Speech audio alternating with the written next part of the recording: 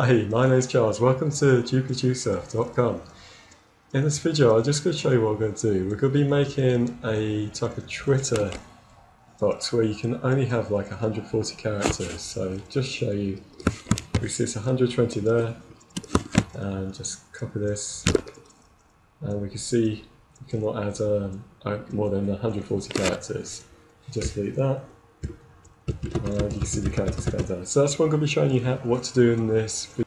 Okay, so first thing we need to do is download the module called Maxlength, which is at drupal.org projects Maxlength. And I'm using the um, beta 1 version, so you just need to download this version. Once you've done that, you need to go to your modules directory and then you need to scroll down. And you need to find your max length module which is this one here. So it's on the fields max length. And you just need to make sure that's enabled by checking this box and scroll down to the bottom.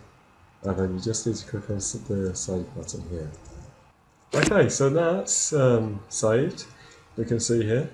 And we're just going to edit our body field of our article. So I'm just going to go to my article. I'm going to click on my manage fields, which is this option here.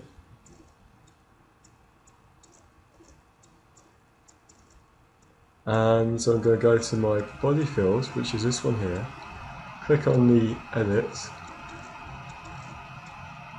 and scroll down and here we have our max.js. So you can change this to whatever you want. You can have maybe 1200 characters. I'm just going to do 140 for this example.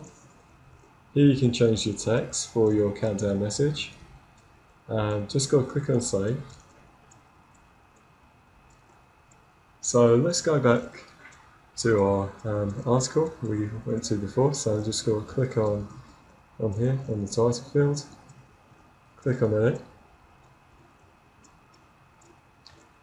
Okay, so now we're in the article, we can check if it's working, and we can see it is because we got the word limited characters to 140, is what we set it to. And it says we have to remove 140 more words, just do that, just to see everything's working.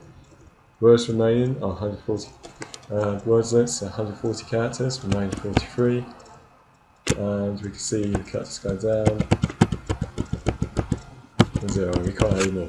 Thank you, thank you for watching my video. If you found this video helpful, please click the like button below, or um, you can uh, subscribe to my YouTube channel, or if you want to see another one of my videos, please click this video in the middle. I'll show you one of my most favourite videos, which is um, making Drupal teasers with Bootstrap and Views. I'm sure you made great progress with Drupal, and many thanks for watching. Take care. Bye.